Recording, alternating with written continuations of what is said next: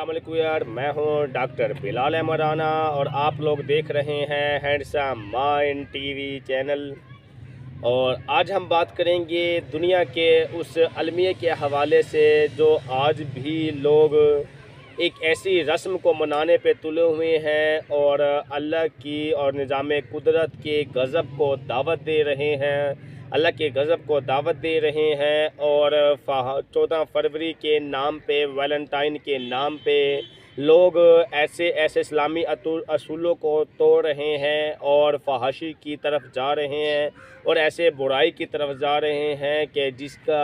अंदर सिवाय गुनाह के और कुछ भी नहीं है। तो आज की जो हमारी वीडियो होगी, वो बात करेगी कि 14 फरवरी वैलेंटाइन डे जो मनाया जाता है, उसके पस मंज़र पे कहानी क्या है, उसकी हिस्ट्री क्या है, और ऐसी नौबत क्यों आई है कि लोग 14 फरवरी हैप्पी वैलेंटाइन डे के नाम से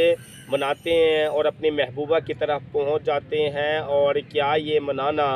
इस्लामी असूलों के सिर्फ़ ख़िलाफ़ है या कि अल्लाह के अजाब को दावत देने के मुतरद है? तो आइए अब हम इसकी तारीख़ की तरफ़ चलते हैं।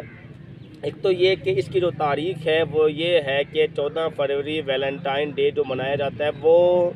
तीसरी सदी ईस्वी में कोई जो रोम में एक ईसाई पादरी था और वो ईसाई पादरी जो रिलीजन के निज़ाम काम को संभालते हैं ईसाइत की तबलीग करते हैं तो वो ईसाई पादरी को एक राहिबा से मोहब्बत हो गई और उस मोहब्बत के अंदर अंधा हो के उसने ये सारा का सारा, उसकी वजह से सारी के सारी कहानी शुरू हुई है, जिसकी वजह से ये पूरी दुनिया के कोने कोने के अंदर फैल गई। अब वो जो ईसाई पादरी था तो वो ईसाई पादरी को उस राइब से मोहब्बत हो गया, वो उससे शादी करना चाहता था। तो शादी करने पे उन दिनों में पाबंदी लगी हुई थी और पाबंदी लगने की नौबत क्यों थी? क्योंकि उन दिनों के अंदर लोग जंग में जाने के बजाय अपने घरों में रहने को तरजीह देते थे, जिसकी वजह से जो वक्त का बादशाह था तो उसने उन दिनों में सख्त बैन किया हुआ था कि जिन लोग अपने घरों के अंदर नहीं रह सकते, मर्द अपने बीवियों को नहीं मिल सकते, जब तक जंग ख़त्म नहीं हो जाती, उस वक्त तक लोग अपने घरों में नहीं जा सकते और शादी का तो सोचे भी ना, शादी बिल्कुल नहीं हो सकती उन दिनों के अंदर, ठीक है? और इसके साथ साथ उस, उन दिनों में ईसाई ईसाइत मज़हब के मुताबिक राहिबा के साथ तो शादी करने को वो वैसे इंतहाई गुनाह का काम समझा करते थे तो ये सारी की सारी सूरत हाल थी। अब उस ईसाई पादरी मोहब्बत तो कर बैठा, अब उसे शादी करनी थी तो शादी करने के लिए उन दिनों में पाबंदियाँ थी तो उसने काफ़ी सोच विचार के बाद उसको अपने मुफाद की खातिर उसने ये अपना लोगों को ना ये बात, ये मैसेज देना शुरू कर दिया कि जी चौदह फरवरी का दिन है, खुशकस्मत दिन है और अगर इस दिन शादी कर लेंगे तो हमारे घरों के मसाइल हल हो जाएँगे और अगर इस दिन शादी कर लेंगे तो बरकतें ज़्यादा आएँगी और अगर इस दिन शादी कर लेंगे और मियाँ बीवी आपस के अंदर मिलेंगे तो उसकी वजह से लोगों के तमाम तर परेशानियाँ हल होंगी। अब ये दिन चौदह फरवरी का दिन तो ईसाई पादरी वैलेंटाइन नामी बंदे को ख़ुद को सूट कर रहा था तो उसने जब ये मैसेज देना शुरू कर दिया तो लोग इसकी बातों के अंदर आ गए। अब वो जो उसका बादशाह का जो हुक्म था, वो टूट गया और लोगों ने चौदह फरवरी वाले दिन सब लोग अपने घरों के अंदर रहे हैं और जिसकी वजह से अब शादी तो हो गई। चौदह फरवरी को उसको भी फ़ायदा मिल गया कि जी वो अपने जो है ना शादी उसने जो ना कर ली उस राहिबा से। लेकिन शादी करने के बाद जब बादशाह को सारी बात का इलम हुआ तो बाद वक्त के बादशाह ने उसका कत्ल भी करवा दिया। अब जब उसका कत्ल हुआ तो लोगों को तो ये एहसास हुआ, जी ईसाइत वालों, ईसाई लोगों को ये तो बड़ा गलत काम हुआ है, वो तो मोहब्बत के प्रचारी थे, वो तो इश्क की दावत देते थे, वो तो मोहब्बत की दावत देते थे तो उस इश्क और उस मोहब्बत की वजह से उन्होंने उस वैलेंटाइन नामी बंदे के दिन को, जो उसने दिन बताया था चौदह फरवरी, उस दिन को उन्होंने एक, उस दिन को उन्होंने एक अकीदत और मोहब्बत और एक एक जिस्मानी कशिश के तौर पे मनाना शुरू कर दिया। कि ये वो दिन है कि जब लोग अपोजिट जेंडर एक दूसरे के करीब आएँगे तो उससे बरकतें ज़्यादा होंगी। अब वो तो उस वक्त के तकाजे थे कि वो मनाना शुरू कर दिया। लेकिन अफसोस अलमे की बात तो ये है कि वो बातें पुरानी हो गई, लेकिन वो चलता है निज़ाम और उसके बाद लोग जो जो अपने मुफाद की खातिर लोगों ने जिनको अपनी महबूबा से मिलना होता था तो वो अपने मुफाद की खातिर वो अपनी महबूबा को चौदह फरवरी के हवाले से हैप्पी वैलेंटाइन डे का मैसेज कर देते थे, जबकि वैलेंटाइन डे के हवाले से अगर हम बात कर लें तो ये उसकी डेथ एनिवर्सरी के तौर पे मनाते हैं, क्योंकि जो चौदह फरवरी है, वो उसकी वफात का दिन भी है, जो कि वैलेंटाइन नामी बंदे का है। यानी ये इस दिन दो वाक़ात रूनमा हो रहे हैं। अब जब उसकी वफात का दिन भी है तो इसको,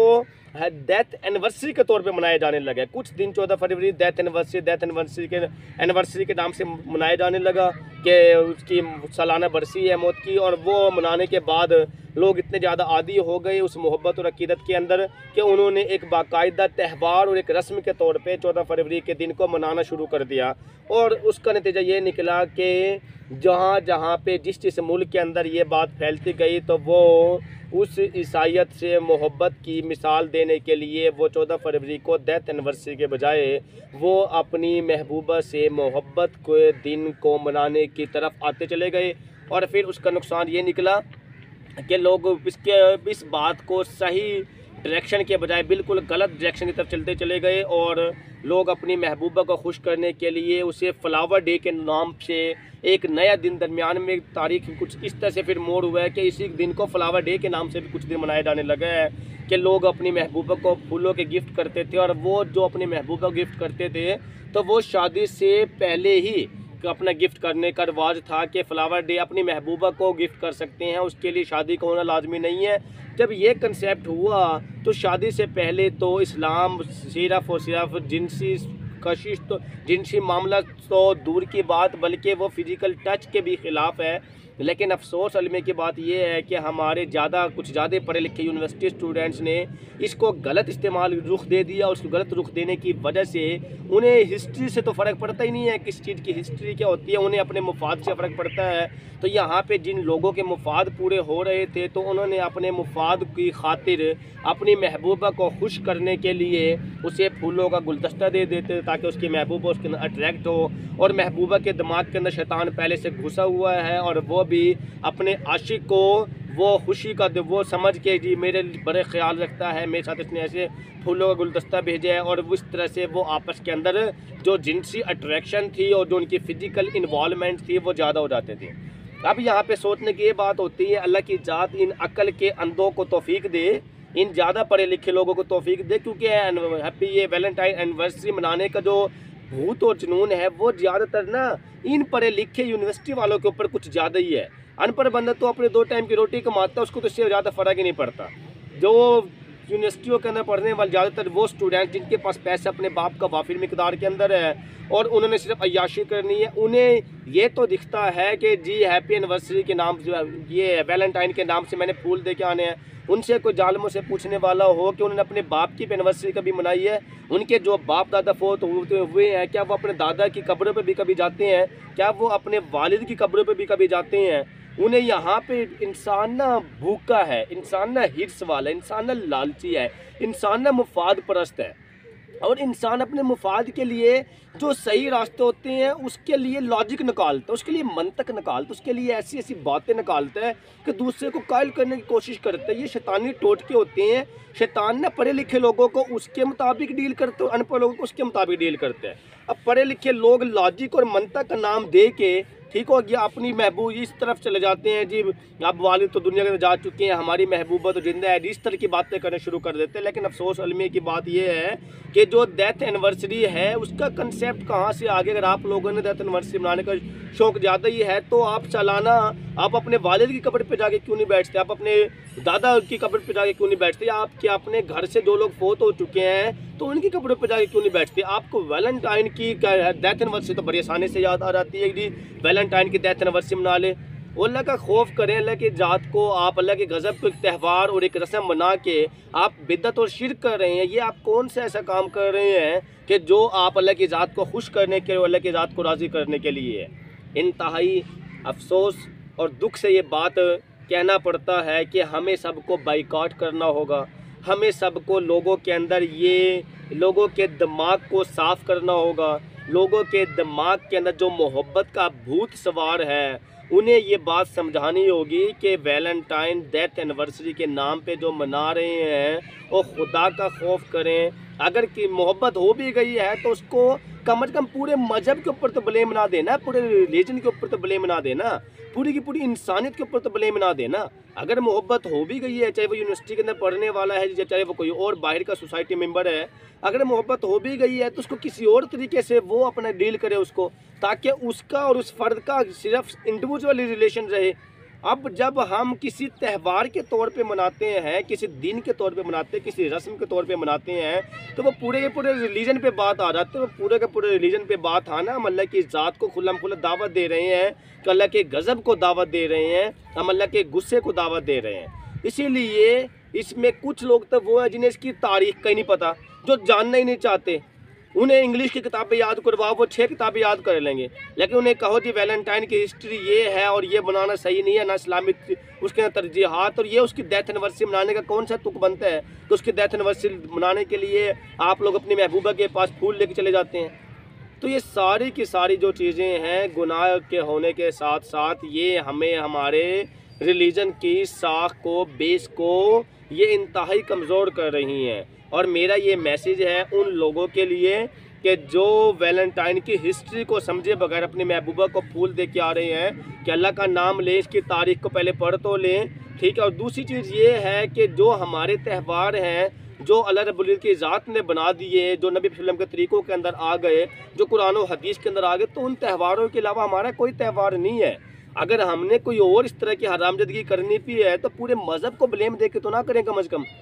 अपनी ज़ात से मुंसलिक जैसे मर्ज़ी करें कि ताकि क़्यामत के दिन उससे पूरे मज़हब का हिसाब किताब ना लिया जाए, बल्कि उससे उसकी लाइफ का हिसाब किताब लिया जाए। इसीलिए खुदारा इसके ऊपर उठे। सन दो हज़ार सतारह के अंदर भी पार्लियामेंट के अंदर, पाकिस्तानी पार्लियामेंट के अंदर एक कानून पास हुआ था और उस कानून के मुताबिक वैलेंटाइन डे मनाने वालों के खिलाफ सख्त कार्रवाई की गई थी। इसके साथ साथ बाकी ममालिक के अंदर, मिसर, यूनान, बहुत सारे ऐसे ममालिक के अंदर सख्त पाबंदियाँ लगाई गई थी। इसके साथ साथ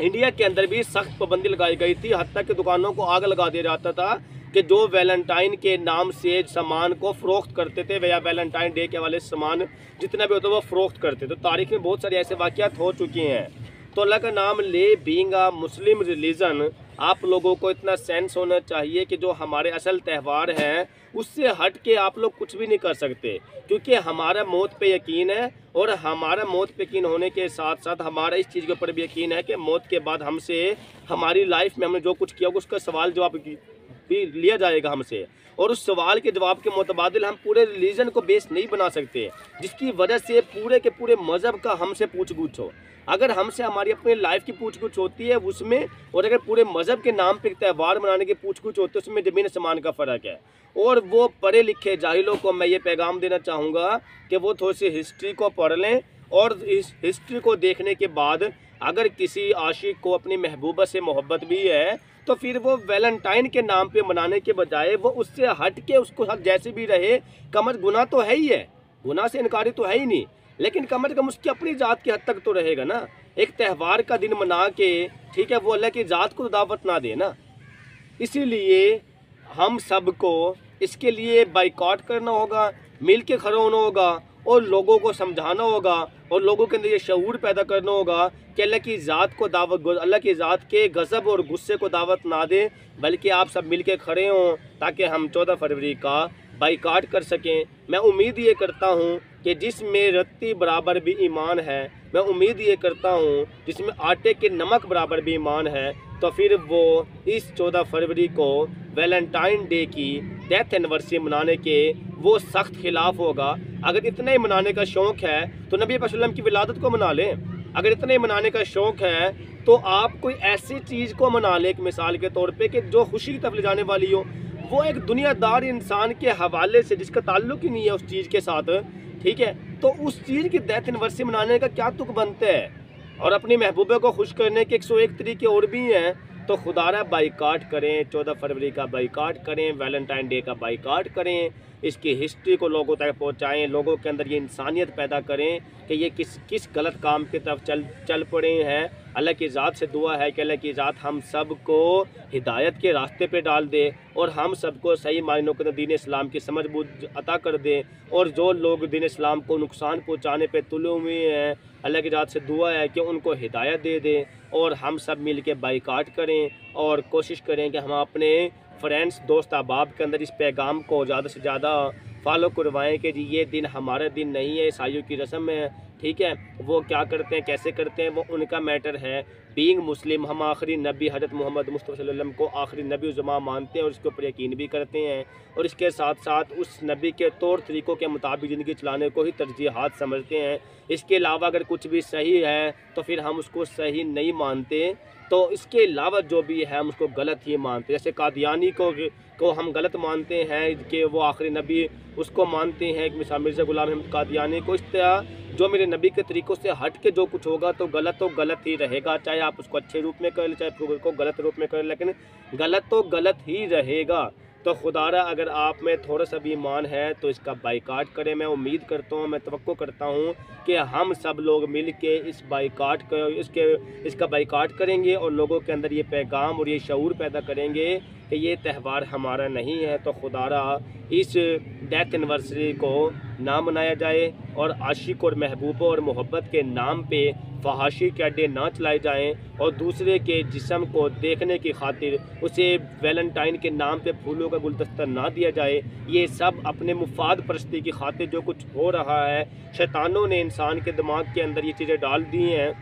अब उस शैतान के इंसानी दिमाग के अंदर ये चीज़ें डालने की वजह से इंसान को सिर्फ़ और सिर्फ़ जिसम की कशिश दिखती है। लेकिन मुझे अफसोस है इस चीज़ का कि अगर वो मुसलमान है तो अल्लाह की ज़ात को कैसे भूल सकते मुझे उम्मीद है कि ये बातें आपको समझ में आ गई होंगी और आप आप तमाम लोग अहद करें कि हम सब वैलेंटाइन डे के ख़िलाफ़ हैं और ये हम किसी भी सूरत हाल के अंदर इस त्यौहार को फोकियत नहीं देंगे और इसके ख़िलाफ़ ही रहेंगे। दुआ है पुलिस की ज़ात से कि हम सबको ईमान और हिदायत के रास्ते पर चलाएँ। मुझे उम्मीद है ये बात आपको समझ में आ गई होगी। आप लोग अपने दोस्तों साथ शेयर करें, हमारे चैनल को लाइक करें सब्सक्राइब करें बेल आइकन को दबाएँ, ताकि बर वक्त आप लोगों तक हमारे तमाम वीडियो मौसू हो। इसके साथ ही अपना ख्याल रखिएगा, इजाज़त दीजिएगा। अल्लाह हाफिज़।